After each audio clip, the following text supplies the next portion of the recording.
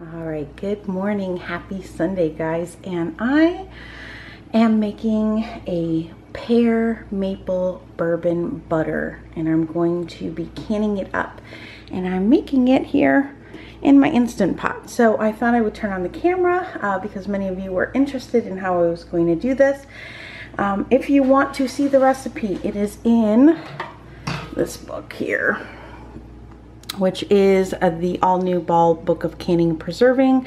Um, I think this came out, was it last year or the year before? It might have come out the year before, but it's on page 145 in that book. So if you want to um, get the recipe yourself, it's in there. Uh, this is about uh, four pounds of pears, give or take, maybe a little bit more. I actually bought six pounds, a little more than six pounds of pears. I figured by the time I core them and peel them, I'd probably have about four pounds here. So I did add a quarter cup of lemon juice to this as I was cutting just so that, you know, I could limit uh, the browning a little bit. And over here, I've got a half a cup of bourbon and a half a cup of real maple syrup. Um, and so we're gonna just be throwing these in.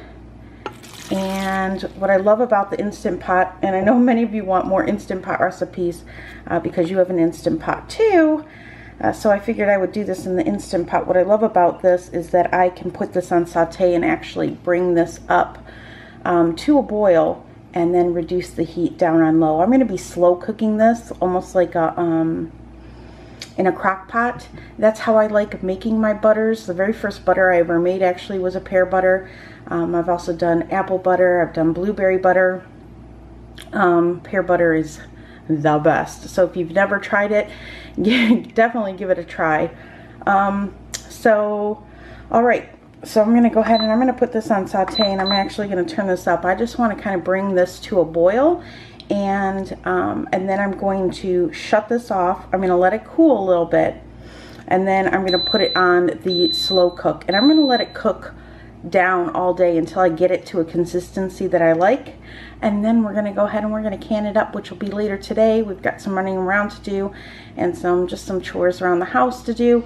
Um, so this will be slowly cooking probably most of the day and I will can it up later this afternoon so when I get to that, well, when I get to boiling it, I'll bring it back, bring you back just to show you what it looks like. Um, but then I'll bring you back when we can it. Okay guys, just so you can see, my pears and my bourbon and my maple are now brought up to a boil.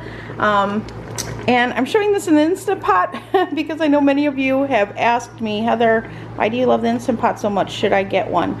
I'm telling you, I use this thing almost every day for something, and I just wanted to show you could also use it for canning. So um, I have the 8 quart duo. I will try to leave a link down below to it. Um, it's hard for me to leave links now on my phone because I don't have internet, so I have to get on my laptop on a hotspot, and I don't know if I've rolled over yet. so, um, but I will try to leave the link just so if you get it on Amazon, if you, I, I think Kohl's, uh, Target sells this, but this is the Duo. And this is the setting that I'm using. I'm using saute. And when you uh, press the saute button, you can change it from low, medium to high. I have it set on high. So that's the, that's the um, setting that I'm using. And as you can see, woo, without steaming you up, um, you can bring it to a boil. This is just cooking off the alcohol, really. Um, so you'll have the bourbon taste, but you won't have the alcohol in it. So now that this is up to a boil, what I'm going to do is I'm going to shut this off.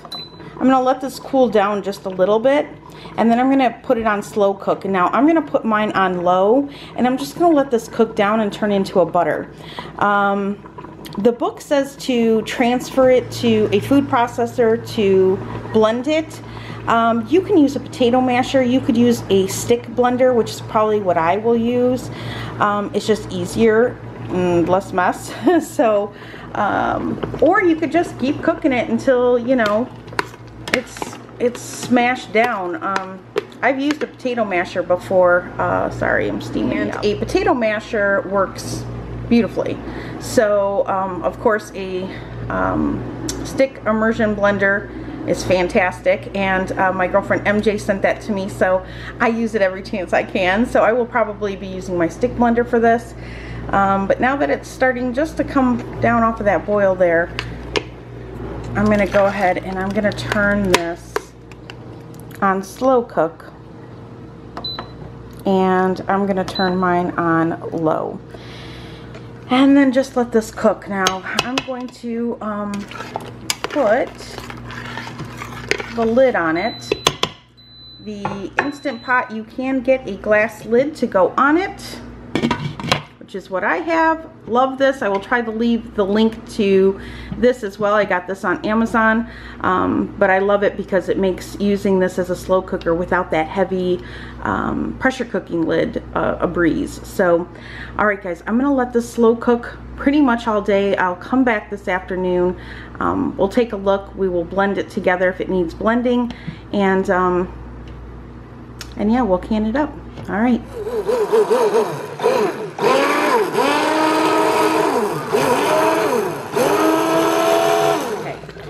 So it's been cooking on low all day and what I did is I brought it up to a high saute again on your, um, if you're using your um, Instant Pot. And I've been stirring it and stirring it and stirring it and stirring it probably for the past half hour. Oh, I'm steaming you out, sorry. Um, probably for about the half last half hour, cooking it down, rendering it down, and you get it down to until it kind of sticks on the spoon. You see that? How nice and thick that is. It takes a while. Not gonna lie, it takes a while. Um, but you don't want it like applesauce or pear sauce in this instance. Um, you want it kind of thick, you know, like a fruit butter. And this stuff is awesome, not only on like toast or um, an English muffin or a biscuit, but also um, if you want to cut the fat amount in recipes like um, muffins or anything like that, you can replace butter with either, you know, like dairy butter with, um, you know, how many people do use applesauce in its place. Well, you can use a pear butter in its place. So you can see how nice and thick this is. So that's going to do it. Now I'm bringing my jars up right now to a boil in the canner and those will boil for 10 minutes. And then we will be ready to put this in jars. All right, we are ready to can up this pear butter, which is fantastic.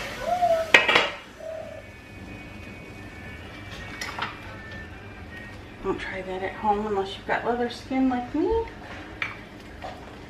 Now we are going to pull out, I always pull out two jars. One to can in and um, the other one to hold my funnel.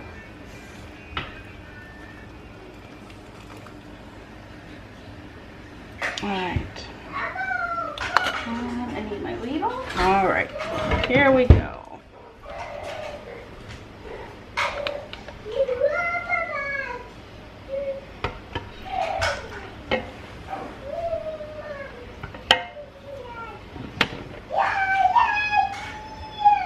one inch headspace and vinegar and water. Clean the rim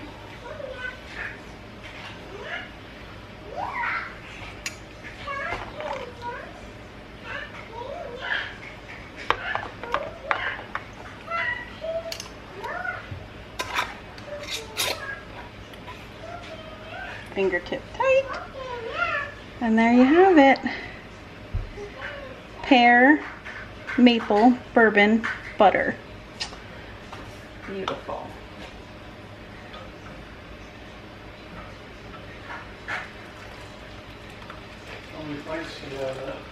Um, I have seven pints in here, although I don't think I really rendered down the really rendered this down low, so I don't think I'm gonna get seven. Not even close. It calls for six. I'll be lucky if I get four. but my peanut butter is very thick. So, um, you know, render it for as long as you like.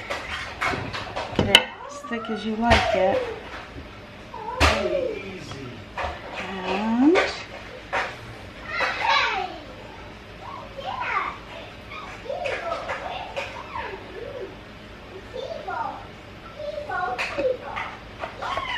And I'm not worried about bubbles. This is so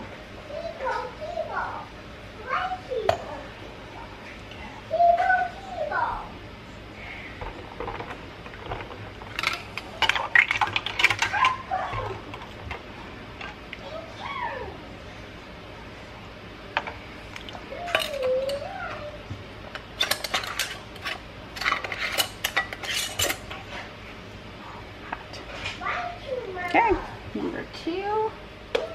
In you go.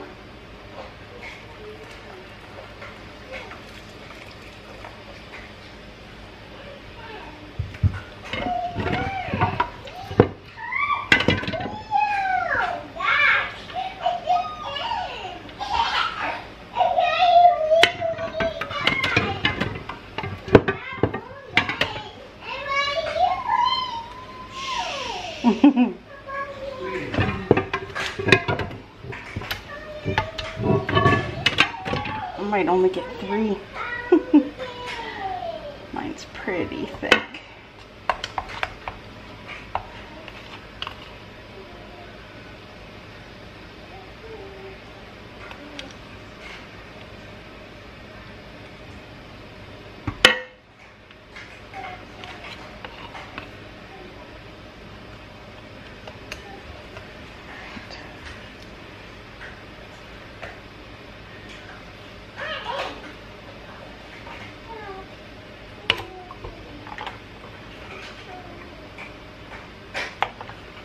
So I would say if you like yours a little thinner, don't render it as much as I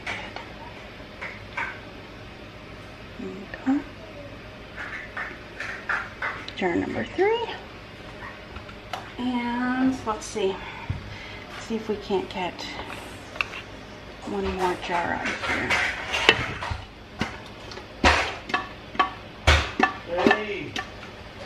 If I can't fill it to can it, I at least can put it in the fridge.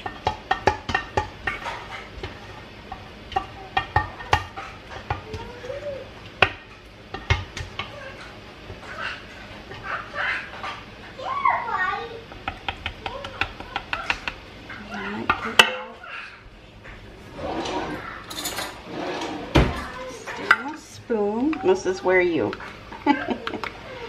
every drop of it you can.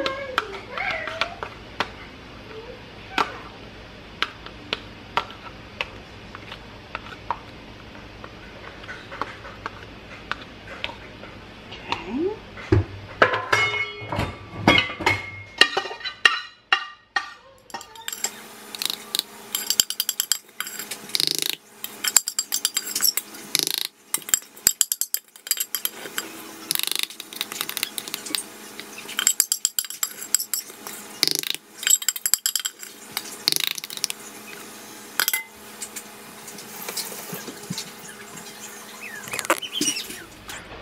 All right, there you have it.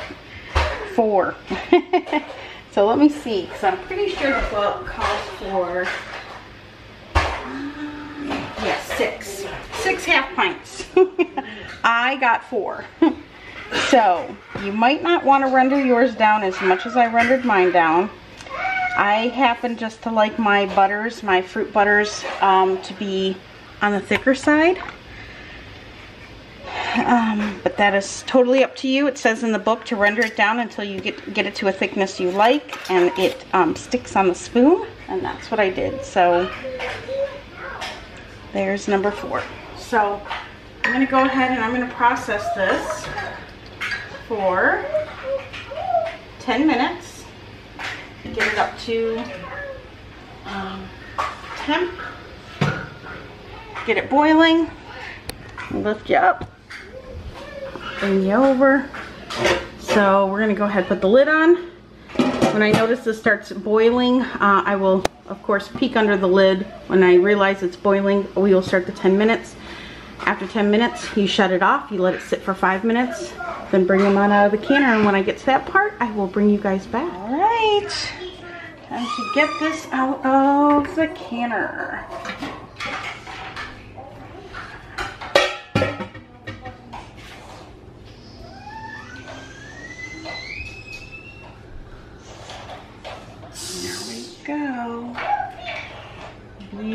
Beautiful. Now, most likely, I might, like everything else, I can, I might keep one jar, in this case, um, just one jar because I only have four. And then the other three will most likely end up being Christmas gifts.